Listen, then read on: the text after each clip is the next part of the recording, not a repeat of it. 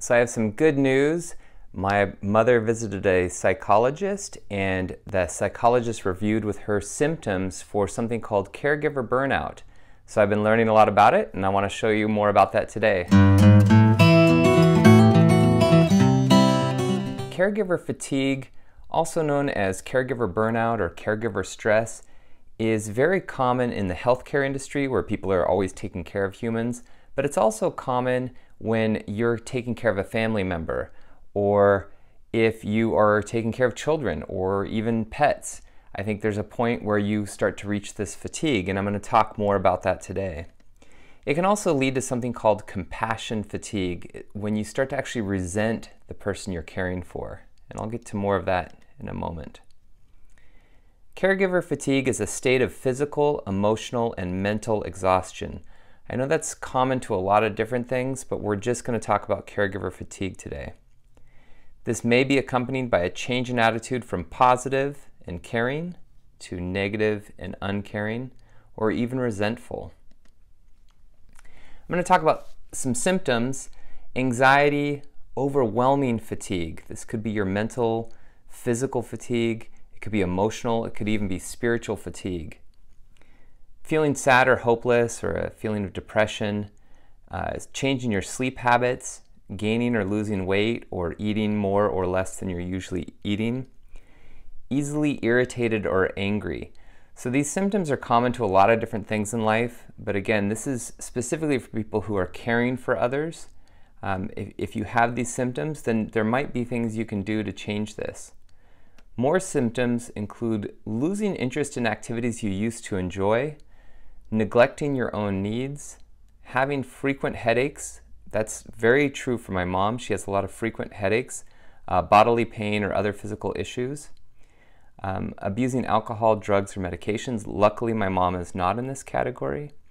And the caregiver themselves become ill. That's a very common sort of late stage outcome for this, and that's certainly something I want to try to help my mom avoid. So, what are some risk factors, things that might make you aware that maybe you have caregiver fatigue? First of all, being female apparently is a big risk factor, and my guess is this is just because women more often are put in positions to care for others, uh, whether they willingly volunteer or it's kind of foisted on them. Uh, I, my guess is that women tend to um, put themselves in a position of care more often, caring for others. Living with the person you are caring for is a big risk factor. Social isolation, and this is particularly common in 2020. Patient not getting better under your care. So, if the person you're caring for has Alzheimer's, unfortunately, that's a degenerative disease, meaning it gets progressively worse. Alzheimer's is also a terminal disease, meaning you will die of it. Uh, terminal cancer, luckily, if you have cancer, there is some, I feel like there's always some hope that you might get better. Um, but there are a lot of cancers that just are aggressive and, and people die. And if you're caring for someone with cancer and they are getting worse and then they do die, that definitely puts you in a category of caregiver fatigue. Or if they have a mental illness that they're not getting better from or even getting worse from. Financial difficulties are a huge risk factor. Everything's a lot tougher if you don't have the financial resources available that, that other people might have. If you struggle with depression, the number of hours you spend caregiving. So, as the number of hours increases, the likelihood of you having caregiver fatigue also increases.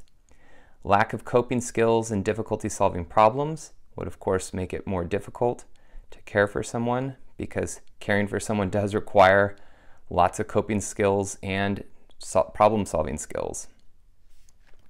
If you feel like you had a lack of a choice in being a caregiver, if you feel like, oh, I had no choice, I had to become a caregiver, then it's kind of a, a sense of you had to do this. And having fewer years of formal education. So, what I'm more excited about is not to talk about necessarily symptoms and risk factors, but more how can I avoid caregiver syndrome, uh, fatigue? And the first across the boards, every site I visited was get help. Be part of a team of caretakers. So you're not the only one. So the more people you can involve in, the care, the better. And include professionals where appropriate. So if you do have someone with late stage cancer, if you can involve doctors, of course, that's going to be uh, a, present you with possibilities or opportunities to navigate different different care options. Educate yourself on their illness.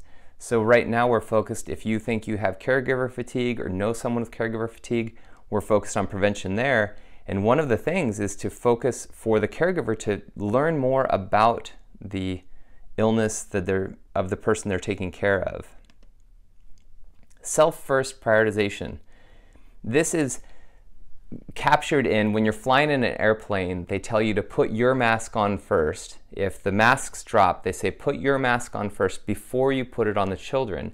And the reasoning is if you start trying to put the mask on the children and you pass out, then those children are much less likely to get the care that they need with the masks on. Whereas if you put your mask on first, you're not going to pass out and then you can calmly put the masks on the children. So they say, hey, worry about yourself first. And the advice they provide is physical activity because people who are caregivers often sacrifice their own physical activity. And I personally have to have physical activity to feel good. It's just something that I need, so I, that resonates with me to get exercise. Uh, therapy and counseling, again, this is involving professionals.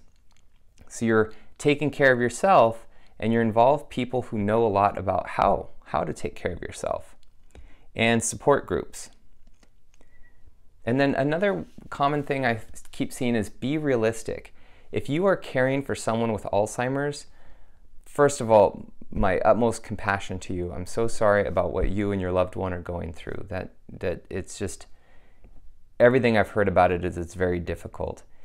And realistically, if they truly have Alzheimer's, as of right now, the treatment options available are basically not that helpful. They're going to get worse and they're, they're going to pass away.